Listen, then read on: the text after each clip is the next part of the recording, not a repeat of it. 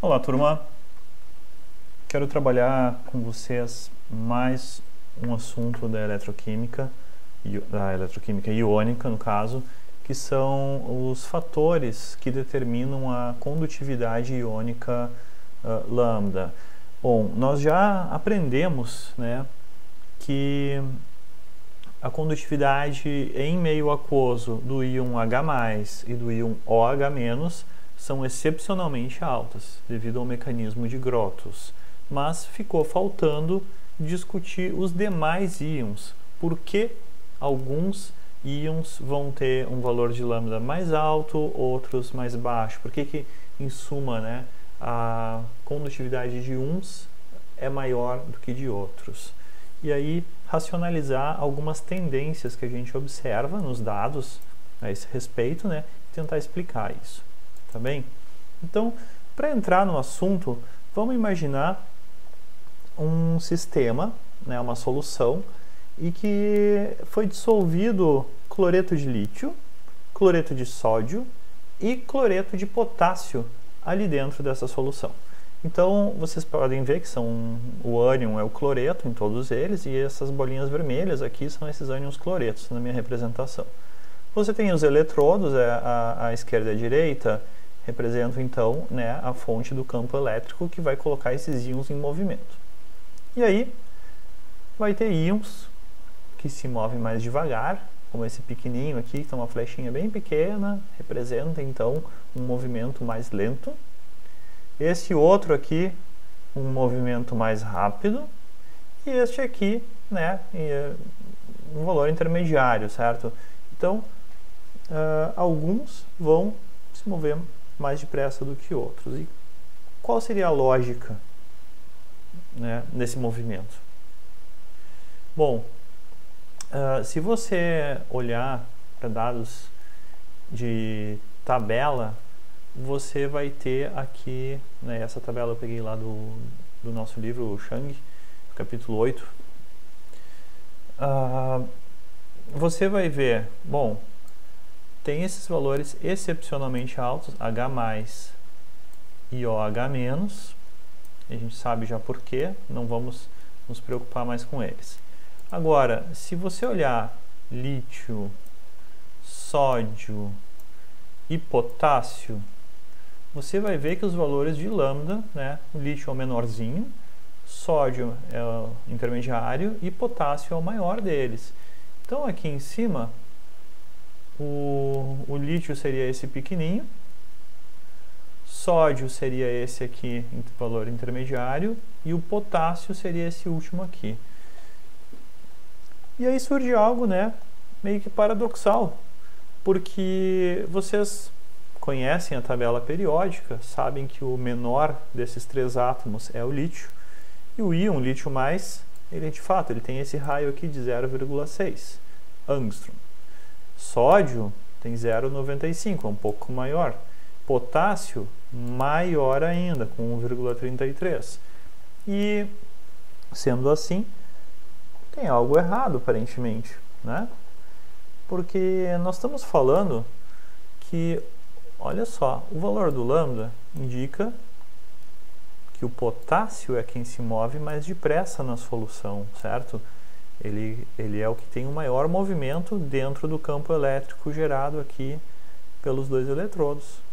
Então, se o potássio é quem se move mais depressa né, e ao mesmo tempo ele é o maior, isso tem algo errado, porque você deveria imaginar né, que é, um, é um, como isso aqui é um líquido, é um monte de moléculas de água e não tem muito espaço livre. Então é difícil um átomo avançar dentro do líquido porque não tem muito espaço para ele ir.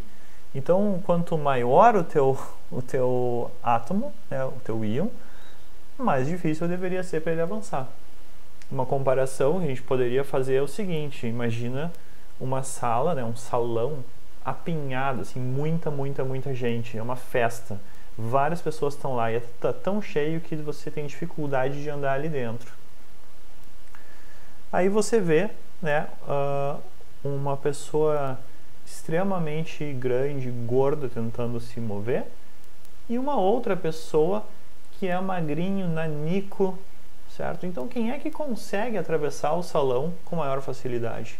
Tu pensa, bom, é o magrinho, nanico, do, e não o, o sujeito gordo, obeso, assim, enorme, tá? Então, né, como é que pode aqui o maior átomo, que é o potássio, ser o que se move com mais facilidade?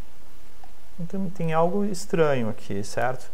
E a resposta para isso é de, ah, antes né, de discutir, será que o mesmo acontece com os ânions? De fato, né, deixando de lado o OH-, que é uma, é uma exceção, ele tem um, o processo do Grotus, do mecanismo de Grotus, você olha aqui, fluoreto, menor íon, cloreto, intermediário, brometo, maior. Se bem que brometo e cloreto não são tão diferentes assim. E de fato, os maiores aqui dessa série deram as maiores condutividades. Então é como se o íon grandalhão tivesse mais facilidade para se mover e o íon miudinho tivesse mais dificuldade. Hum, então meio que repetiu a tendência lá que a gente viu com lítio, sódio e potássio. Então vamos ver, tentar entender o porquê disso. Gente, o que ocorre tá, é o fenômeno chamado solvatação de íons. No caso em que o solvente é água, o nome disso também pode ser hidratação de íons, tá? Então, o que, que acontece é que, por exemplo, esse íon sódio aqui, ele interage fortemente com as moléculas de água que estão mais próximas. Ele é um íon positivo, então a, a parte negativa da molécula de água, que é o átomo de oxigênio, ele se orienta, volta, se volta para o átomo de sódio e se liga, certo? Essa, essas, essas seis moléculas de água que você vê aqui, elas não estão livres para sair daí com facilidade. O que acontece na prática é que um certo número de moléculas de água pode até formar uma segunda camada, então uh, vão estar mais ou menos presas ao teu íon. Isso quer dizer que esse, essa, esse sódio ele não consegue se deslocar através da solução assim, ele vai arrastar junto com ele, vai ser acompanhado por uma esfera de solvatação, certo? Então, é como se você estivesse numa, num salão apinhado de gente e você quer se deslocar, mas você é muito, muito, muito popular, então tem sempre uma porção de gente à tua volta e eles não desgrudam do teu pé sejam os paparazzi, as pessoas pedindo o teu autógrafo porque eles te adoram. Então o que está acontecendo? Eles não, não largam o teu pé. Então ficou muito mais difícil de tu andar, certo? Tu não vai conseguir te deslocar com facilidade. Esse sódio ele também não consegue se deslocar na solução com facilidade, porque ele retém aqui uma esfera de solvatação, certo? Agora, o, como a gente viu, não é o tamanho do íon em si, o íon pelado, vamos dizer assim, é o íon solvatado, o íon incluindo a esfera de solvatação, isso sim é o que importa para a gente entender a mobilidade, né, a capacidade do nosso íon se de se mover na solução. E agora, uh, você pode ver que o lítio mais, ele tem uh, o maior tamanho aqui dos três, entre lítio, sódio e potássio, o lítio, com a sua esfera de solvatação, ele é o maior dos três. Sódio é intermediário e o potássio é, é o menos grande, certo? É o menos grande dos três. Então, uh, no fim está tudo certo. O potássio vai ter maior capacidade de se mover na solução e o lítio a menor, certo? Por que que acontece isso? Porque, uh, por que, que o, o tamanho do íon vai acabar afetando? Bom, um íon muito pequeno, como o lítio, digamos o íon, o íon sozinho, lítio, ele é o menor dos três aqui que a gente olhou, certo? Entre esses três, o lítio sozinho, ele é o menor. E ele tem, tu pode imaginar que ele é uma pequena esfera, um átomo, né? uma pequena esfera com uma carga elétrica uh, extremamente concentrada. E então, surge dali um campo elétrico muito intenso e a ligação com as moléculas do solvente vai ser muito forte. Então ele vai acabar dando origem né, a uma camada de hidratação ou de solvatação que é bastante grande e bem firme, assim, bem presa ali, certo? Então é por isso, né, o lítio acaba entre esses três é o que melhor prende moléculas de água ao redor. E o potássio, que ele não é tão pequenininho quanto o lítio, ele ele tem um pouquinho mais do dobro do tamanho aqui, do dobro do raio, então ele acaba retendo menos moléculas de água e dando no total o íon hidratado não tão grande. É isso.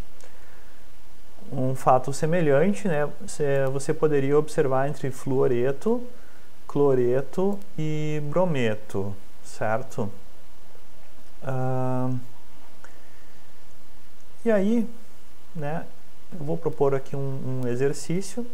Eu quero que tu faça uma estimativa do raio dos íons fluoreto e brometo hidratados, que são os dados que estão faltando na tabela. Por favor, pausa o vídeo e, e propõe um número razoável para o tamanho do fluoreto hidratado e do brometo hidratado. Pausa aí e faz. Fez? Tá bom. Uh, então vamos ver.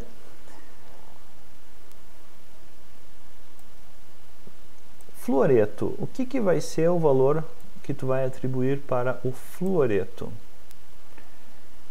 Olha, eu não sei o que, que tu imaginou, mas a julgar pelo valor do lambda de 55 Siemens centímetro quadrado por equivalente, tem um outro íon aqui que tem um valor próximo, que é esse sódio, com valor 50. E ele tem um íon, um tamanho solvatado de 3,58 angstroms. Esse é o raio dele solvatado, com a sua respectiva esfera de solvatação. Então, seria um valor próximo disso, certo? 55 vai, né, provavelmente é um valor próximo de 3,5. Então, portanto, né, tem lógica, porque é maior do que o 3,3 do cloreto. O cloreto ele se move com mais facilidade, então uh, o fluoreto não se move com tanta facilidade na solução, comparando fluoreto e cloreto. Então teria que ser mesmo o fluoreto um pouquinho mais volumoso né, quando ele é considerado com a sua camada de hidratação, a sua esfera de hidratação. Então, talvez 3,5, porque é um valor próximo do tamanho do sódio hidratado. Já o brometo, olha só, o íon brometo, ele tem uma condutividade iônica equivalente muito próxima à do cloreto, certo? Eles são quase iguais. E aliás, o cloreto também é quase igual ao potássio certo? Então, você poderia né, dar um valor aqui muito próximo ao valor do uh, cloreto, certo? Então, como ele se move um pouquinho mais fácil, talvez seja um pouquinho menos que 3,32, mas realmente é, é, incerto, né? Eles são praticamente empatados aqui, então eu chutaria 3,3, botaria empatado aqui brometo e cloreto. Então, botaria 3,5 13,3 e 13,3, certo? Faz sentido para ti? Se não fizer, pergunta, pensa mais um pouco a respeito ou tira dúvida comigo, certo? Ou com algum colega. Prosseguindo, nós temos outro aspecto que se torna bem importante, que é a carga do íon, certo? Ali em cima, a gente viu vários íons de carga mais um ou menos um o número de carga sempre era 1, positivo ou negativo. Agora, se tiver carga 2, carga 3, aí a situação muda muito, certo? Deixa eu comparar aqui, deixa eu tentar fazer uma comparação com vocês entre lítio, mais 1, e magnésio, que é mais 2, aqui ó, carga é 2. O que eles têm é que o íon sozinho tanto o lítio quanto o magnésio, eles são quase iguais, 0,6 angstroms e 0,65 angstroms, certo? Então eles são mais ou menos do mesmo tamanho. E No entanto, como a carga do íon magnésio é o dobro, ele exerce um campo elétrico muito mais intenso, né? o dobro da intensidade, uh, numa região de tamanho comparável, num, num, volume de tamanho comparável. E aí, o que, que acontece?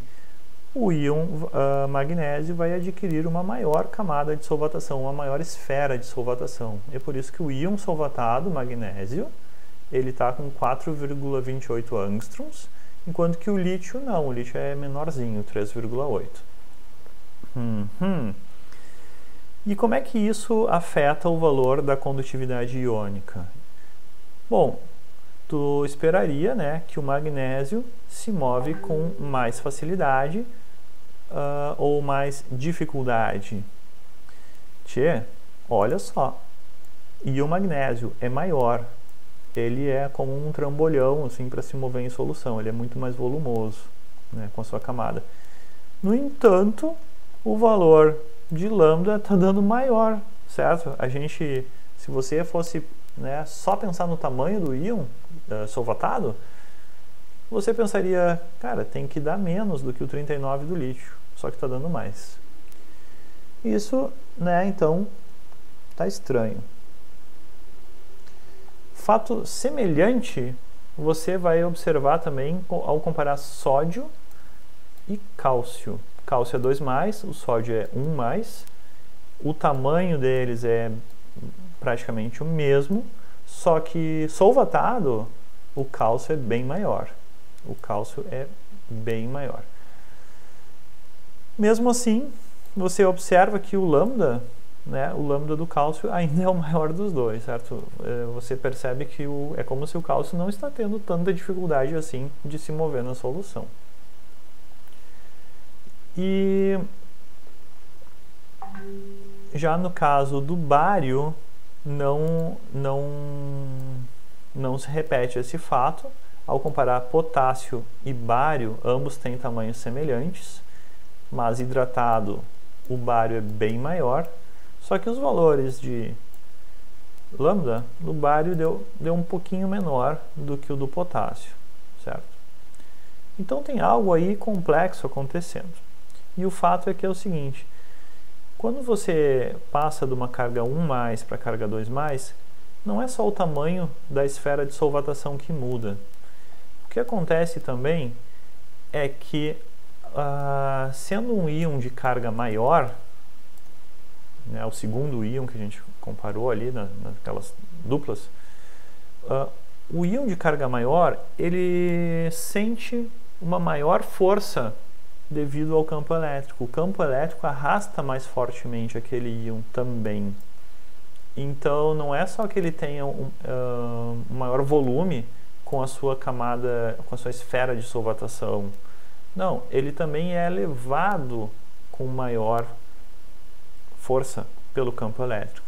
Então, a gente tem um efeito que retarda o movimento do teu íon, né? quando você passa de 1 mais para 2 mais, ele retarda por ter uma maior esfera de solvatação, porém acelera porque o campo exerce uma maior força sobre a carga 2 mais.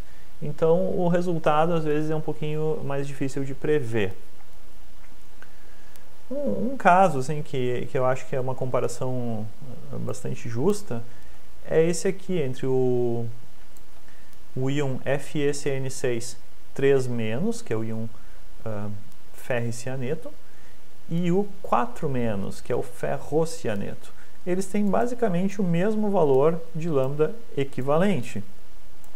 O que muda é o valor de lambda molar, porque ele, o primeiro tem 101 Siemens centímetro quadrado por equivalente, mas são três cargas negativas, então dá 303 Siemens centímetro quadrado por mol, enquanto que o outro íon uh, ah, 110, um valor bastante parecido, né? não, não difere tanto assim, multiplicado por 4 dá o 440 Siemens centímetro quadrado por mol. Então, por que, que eles têm um, um lambda equivalente tão parecido? Bom, podemos uh, entender né, que é um íon bastante grande, com, uh, percebe que tem uh, seis grupamentos CN, então isso dá 12 átomos nos grupamentos CN, 12, 13 átomos. É um íon de 13 átomos cada um, certo? É um íon bastante grande. E, e a interação com o, com o solvente, ela não é tão diferente nos dois, entre esses dois íons, certo? Eles têm mais ou menos o mesmo tamanho, têm o mesmo formato, e a interação com o mundo exterior, a, a, a esfera de solvatação deles, não deve ser tão diferente assim eu tinha localizado para um deles uma informação a respeito do, do, tamanho do íon solvatado e poderia dizer né, que o outro íon deve ser mais ou menos do mesmo tamanho. Uh, então, por isso o, o lambda equivalente está dando mais ou menos igual, só que o lambda molar, um é o triplo, enquanto que o outro é o quádruplo desse número, certo? Espero que isso faça sentido aí para ti. Qualquer coisa, pergunta. Uma outra, né, por último, assim, uma outra influência né, que pode aparecer é a cadeia lateral. Aqui eu estou trazendo uh, três íons carboxilato. Carboxilato é o íon derivado de um ácido carboxílico. Aqui um, um íon formiato, que é do ácido fórmico. Aqui um íon acetato, derivado do ácido acético e aqui um íon benzoato, derivado do ácido benzoico.